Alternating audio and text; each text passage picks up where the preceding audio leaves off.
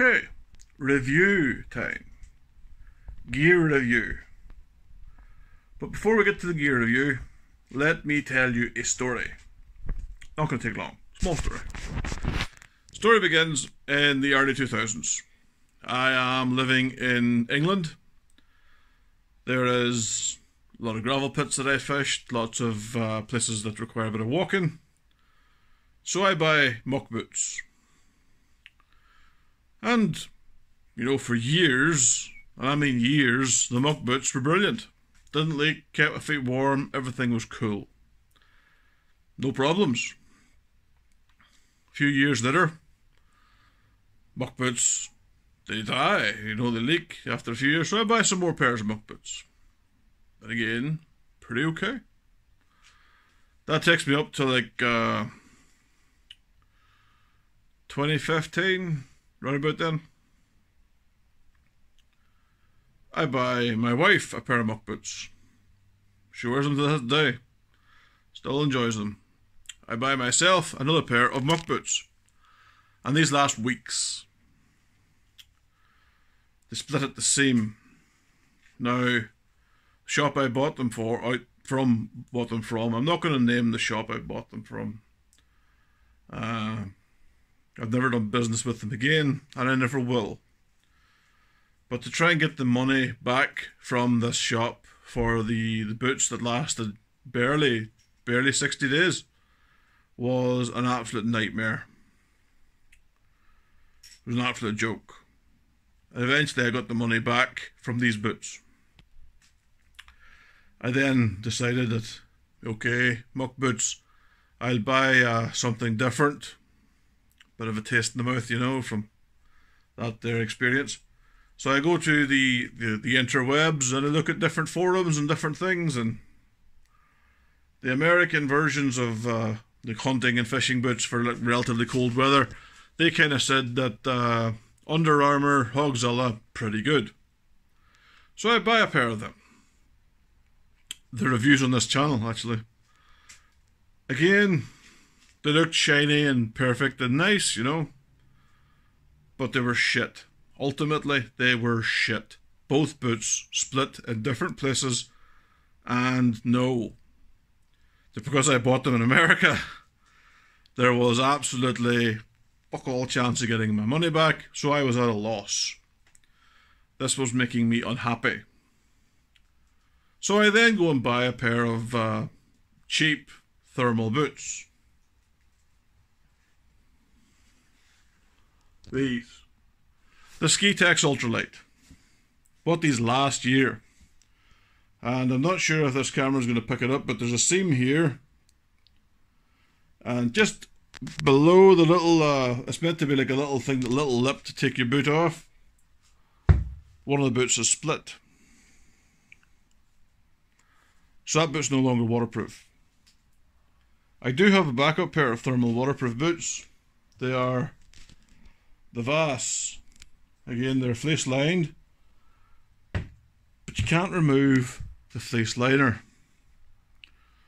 And like all fleece liners and thermal boots, they begin to stink after a while. I can remember when the moon boot, the old original Skee-Tex moon boot came out. And again, I had them for very cold weather. I actually had them along the same time with the muck boot. And, well, you know, if you didn't have to walk anywhere, brilliant boots. If you're sitting in a boat, brilliant. If you were sitting on a place where you're fishing right beside your van or on a seat box when I was still match fishing, brilliant.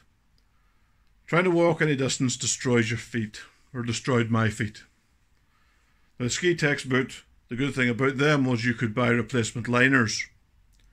And yeah, you needed to, because after a season of wearing them, they smelled like a rotting sheep pretty bad. So I thought when I bought those uh, ultralight boots, I thought that, you know, Skee-Tex is a good name, relatively decent make. Should be okay. Maybe I've just got a shit one, but the heel split, and I have problems with it now. Now I'm a size 12 boot. I'm 6 foot 2, I'm about 21 stone, and I'm a size 12 boot.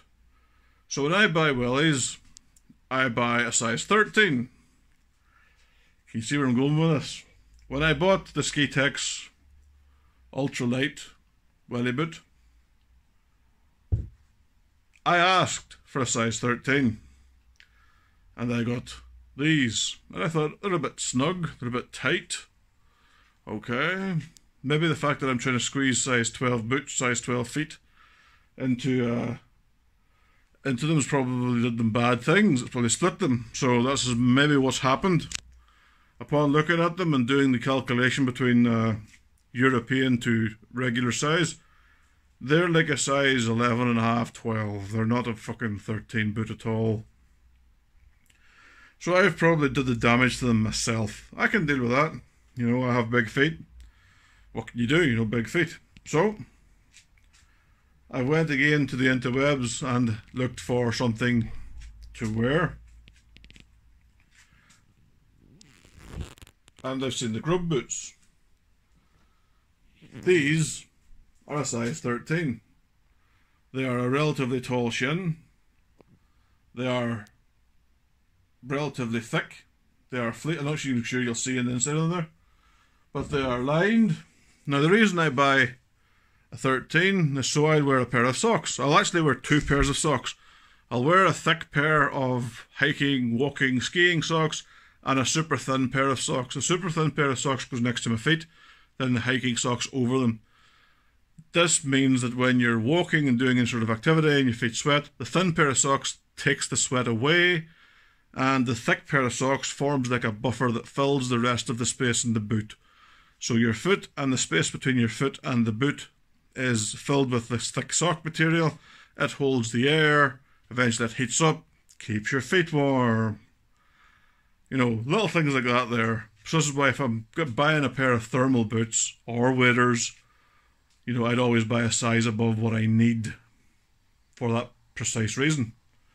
So, the grub boots, I ordered them from Amazon. You know, so I'm quite happy that they're, you know, from a, like a bona fide retailer. Uh, they come with a whole load of bump. I will attach all the bump from the site in the description in the video below. But tomorrow will be the first day I'll be wearing these boots. The very first day. Now, I don't actually know where I'm going to end up fishing tomorrow, but tomorrow's going to be the day I wear them and test them out and road test them. The box that came in was sturdy enough. The packaging was secure enough, I guess. And the delivery speeds was adequate. You know, living in Northern Ireland, you have to put up with uh, delivery speeds that uh, go from slow to uh, second coming of Christ. But at the minute, initial initial thoughts, pretty good. You'll see they have like a a nice Vibram sole. Vibram is important. It provides support for your feet. Then that light green layer is a foam layer. This, this, this layer here is foam. This is designed to cushion your feet. Then this is the normal rubber boot. Then this is the neoprene shin bit. It has a secure tab at the top so you can pull the boot up onto your foot. And, well, what more can you say? It's a thermal welly boot. Designed for hunting, designed for shooting, designed for fishing. Again, pretty much what it should do is what it says on the tin. So I should be getting a good product. Again, I'll do a longer term review. If they're good, they get thumbs up. If they're shit, well, I will tell you guys, you know. I do the uh, I'm not sure I should really go into this, I'm trying to keep this very short. The reason I want thermal boots that provide support on my feet is I have destroyed both knees. I have destroyed the lower lumbar on my back. I have two vertebrae that are herniated, which is uh, fucking awesome, you know, to try and live with that there. And because the herniations in the lower vertebrae in my back give me a lot of nerve pain, for some bizarre reason best known to getting folded in half, the nerve pain makes my feet get cold. Now, I've never had that before. I used to play rugby, you know, at quite a high level. No problem with cold feet. Used to play in the worst conditions, no problem with cold feet. I have an injury to my spine and cold feet. Wrecked knees, more cold feet. And because I was a prop forward and played in the scrum in the rugby, I had uh, broken toes as a regular thing. So that's probably damaged my feet quite a lot. So I have to wear, when I'm wearing uh, normal boots or normal shoes, I have orthopedic supports that go in in the insoles, which provide the support so I can walk around and my feet aren't, aren't uh, sore. So, Vibram boots tend to be what you want if you've got like if you need support on your ankles and your feet. So I'm hoping that because they're a Vibram sole, this should be the job. Again, we will see in a longer uh, test, longer term testing. Well, uh, it starts tomorrow. You know, when I go out there, that'll be the longer term testing. Price on these bad boys. They retail from anywhere up to 100 under under around about 100 pound to 130 pound. Amazon had a sale, and I used my uh, Amazon gift cards and Christmas presents that I got, and that's what I bought them with it. You know, it's a late Christmas present to myself. So I paid 108, or actually paid 108.99. That included postage to Northern Ireland from England. Now I've seen them in different. I've seen them on eBay. I've seen them on Amazon. I've seen them in different shops, and they're all around about the same sort of price. There's there's nowhere out there that sells them at a at a different sort of price. They're all kind of over the hundred pound, below the hundred and thirty five pound. They go from size midget to normal people. They got with me in the size thirteens and twelves, and they don't have to be the uh, the woodland green, the whole camo color. They don't have to be that. They can be black, they can be green, they can be any sort of normal colour. The only reason I got that is because, well, I quite like the uh, the woodland camo. And I will definitely be looking forward to giving them a go tomorrow. The soles on them, pretty good thread. Should be good on the on the shit ground. And we should be able to uh, walk a bit of distance not have problems slipping and sliding and landing on one's ass.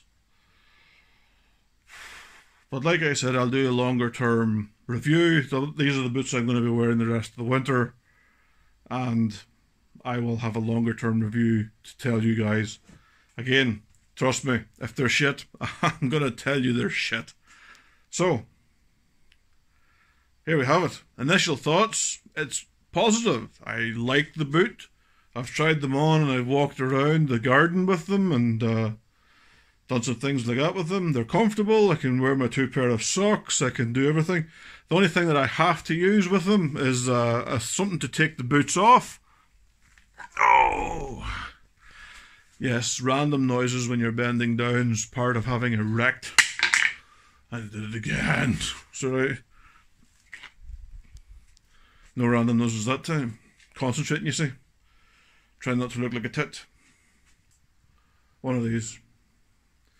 This sits in the ground like that there. You step on one side, your boot goes into this bit, and then you pull your boot, your foot out of the boot. This is like something I've had for a long time. I think it was like a fiver off eBay. So, because the boots, and you wear the, like the thicker socks, they're going to stick to your feet a little bit, so you're going to need to have something help to take them off. So this is what they're for. That this is what that helper is for. If you're like a flexible sort of human being that can bend over and do all those sort of things, you probably have to pull them off yourself. But I'm crippled and fat, so I'm using all the help I need. Or all the help I can get, rather. So, let's see what tomorrow brings and uh, I just have to let you know what I think in the future. Cheers, guys.